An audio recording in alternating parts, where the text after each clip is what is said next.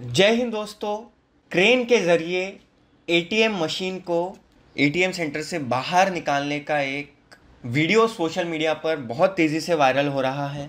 ये वीडियो सांगली का बताया जा रहा है, जिसमें आप साफ़ साफ़ देख सकते हो कि चोरों द्वारा क्रेन का इस्तेमाल करके एटीएम मशीन को बाहर निकाला जा रहा है।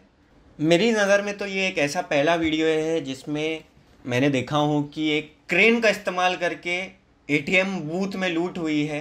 तो एक यूनिक टाइप की चोरी मैं कहूँगा इसे। पुलिस इस मामले में काम कर रही है और उम्मीद है कि बहुत जल्द ये चोर पकड़े जाएँगे। अंत में मैं बस आप सबसे यही कहूँगा, भगवान ईश्वर गॉड अल्लाह, आप सबको सलामत रखे। आप सब अपना ख्याल रखें, सभी को दुआओं में याद रखें। Thank you so much